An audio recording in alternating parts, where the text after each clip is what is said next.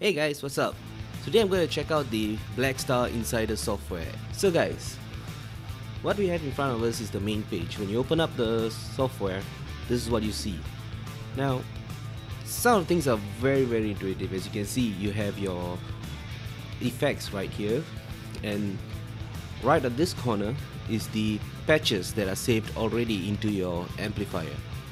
Now, these patches on the other hand is what you save or what you can download.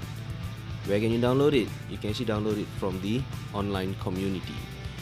Now in the online community, you have a lot of users. Most of the Blackstar users, as they create their own patches, they just upload it online so that they can share around with people.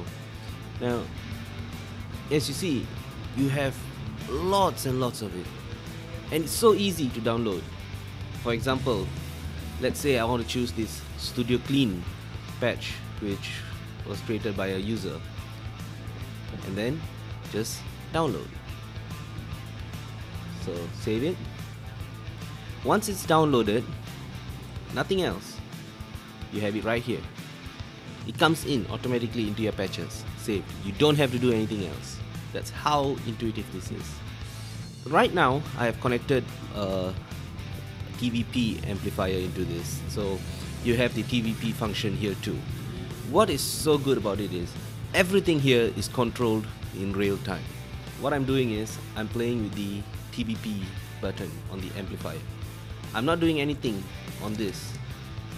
Everything is on the amplifier. Another thing that's really nice about this is that what you choose and everything that you do you can save it. So let's say you have set up a sound that you really really like and you want to be able to save it so that you can go back to it. Now you have so many locations down here that you can choose from. So what you do is just press the save button. That's how simple it is. Press the save.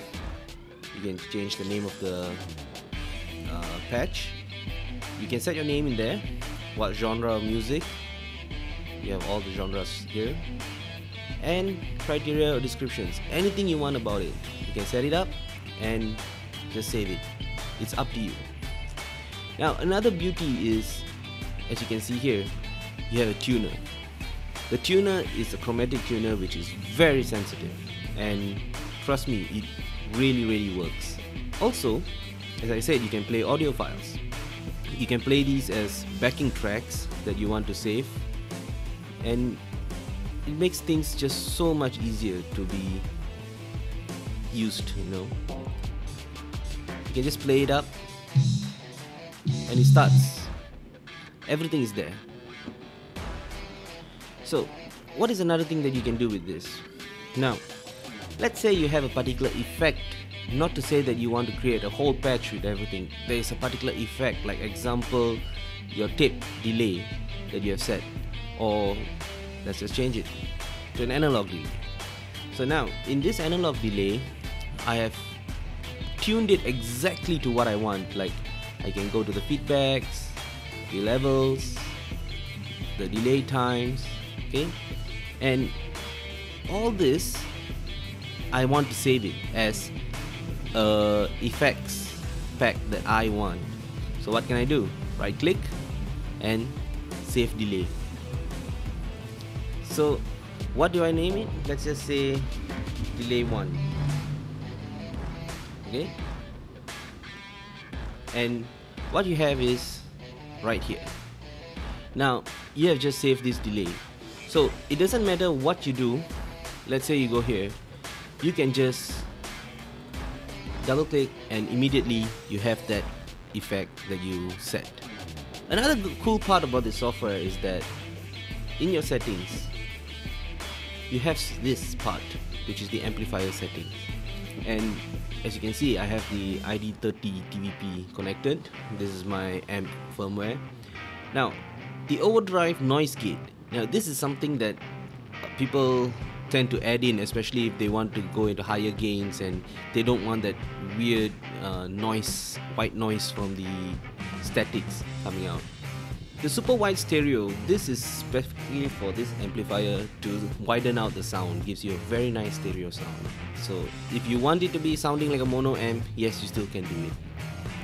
Now, audio mode, now this is specifically for recording and you don't need to have any other uh, audio interfaces or anything connected because this amplifier has an emulated out and this is where the emulated out is controlled.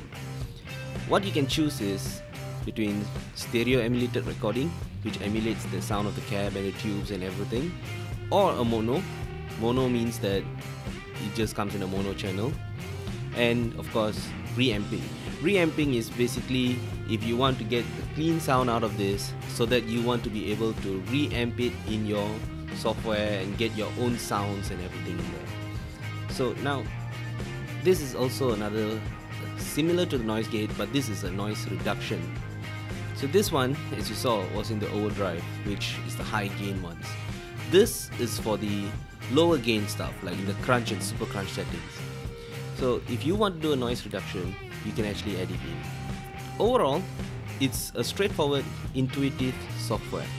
So get yourself a Blackstar amplifier and play around with this software. Trust me you'll enjoy it. See ya